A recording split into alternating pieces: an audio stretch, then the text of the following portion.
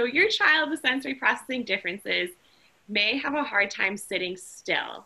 Some things you can try are these tools we will discuss today. They are the use of a therapy ball, the use of a TheraBand, the use of a fidget, and the use of a sensory cushion. We think these are some tools that are fairly easy to have in the home to use when your child's doing schoolwork for a movement break before doing schoolwork and just kind of incorporating into a routine at home right now that involves some movement, deep pressure, tactile input to help kids with sensory processing differences thrive either doing schoolwork or before snack time or whatever else they may need to do that requires some focus from them. A therapy ball is a ball that can be used as a chair.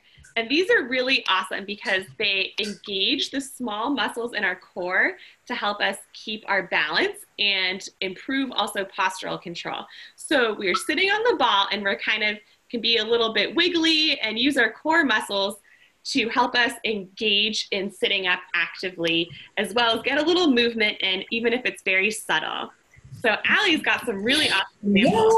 Yeah, and you know, when I've recommended a therapy ball to families, you know, in the past I've brought the ball into the home first just to try it out. Families always 100% buy it. You can get these really cheap at like Walmart or, or Five Below or places that like that like five dollars and, and they last they're really good. And they come in different sizes too for different you know whatever height your kiddo is.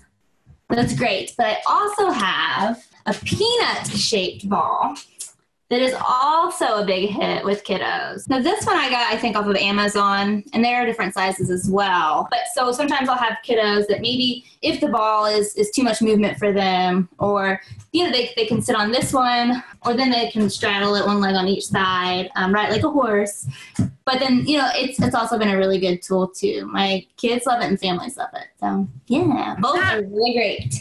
The peanut ball is really great for some smaller kids too.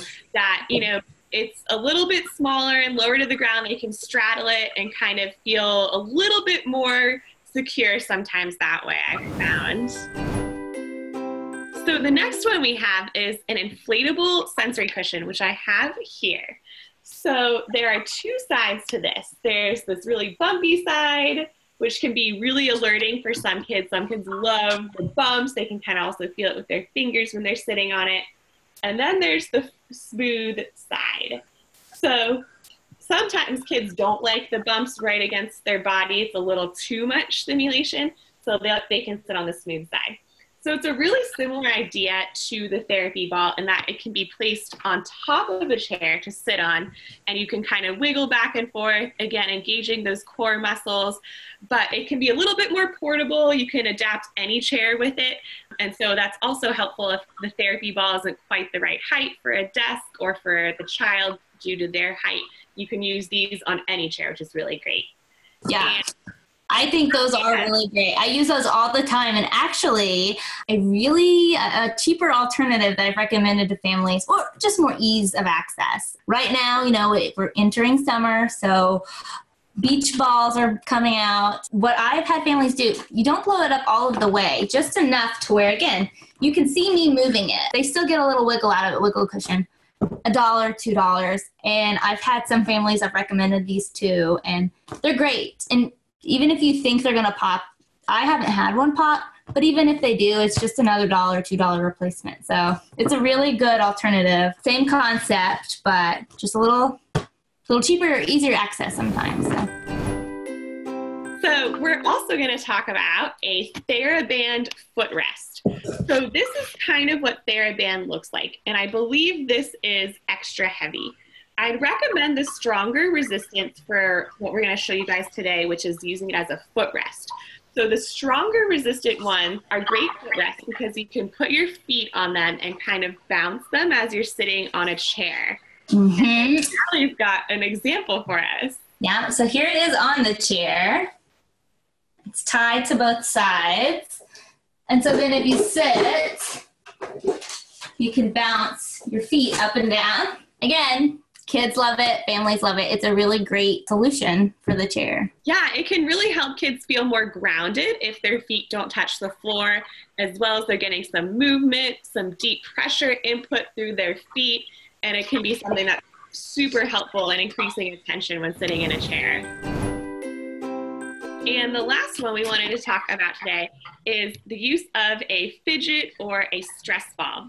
So there's a bunch of different stuff out there that you can find as fidgets. They're actually pretty mainstream, popularized at the moment, I'd say. Tons of different ones. So with a stress ball, you can squeeze it and get a lot of deep pressure input in your hands, which can kind of wake up your hands before writing, as well as just kind of increase your focus and you can fidget with it while you're sitting in a chair doing your schoolwork or otherwise.